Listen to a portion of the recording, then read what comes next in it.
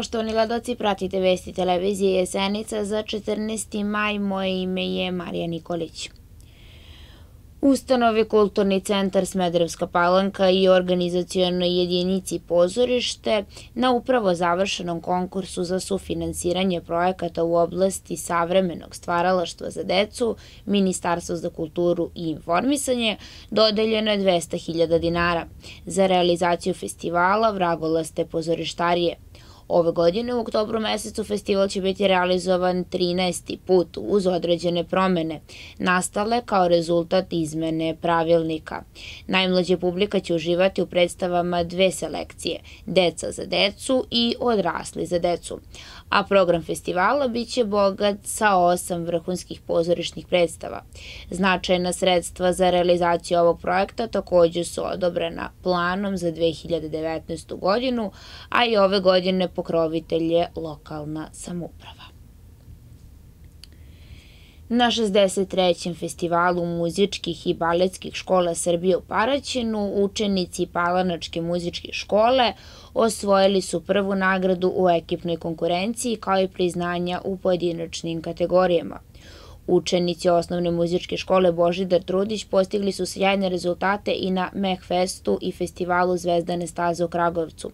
Prve nagrade osvojili su Đorđe Kristivojević, Mihajlo Petrović i Ivan Sarić.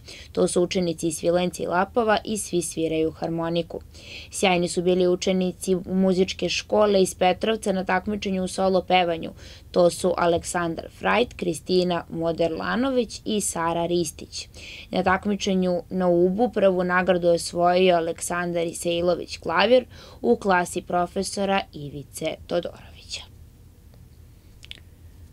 U osnovnoj školi Milija Rakić u Cerovcu za sutra 15. maj planirano je otvaranje festivala Mades 2019.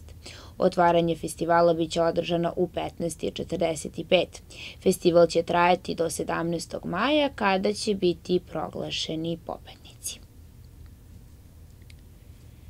Narodni muzej u Smederevskoj palanci biće domaćin profesorki doktorki Ljiljani Gavilović i doktoru Milanu Tomaševiću iz Etnografskog instituta Srpske akademije nauka i umetnosti.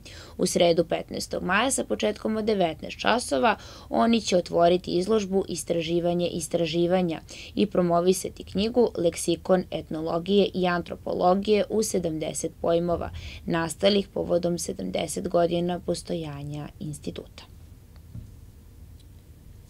U 25. kolu Podunovske okružne lige futbaleri Železničara su u Kusatku poraženi od ekipe Slobode iz Lipa rezultatom 2 prema 1, dok je u Goluboku domaće pobeda savladala Cerovac rezultatom 4 prema 1.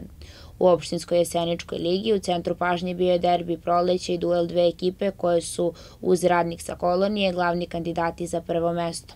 Na gradskom stadionu u Palanci Jesenica 2017 je pobedila ekipu Glavaša iz Libovca rezultatom 3 prema 2.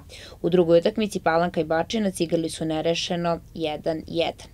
Na tabeli Jesenice 2017 i Radnik imaju po 18, a Glavaš 16 bodova.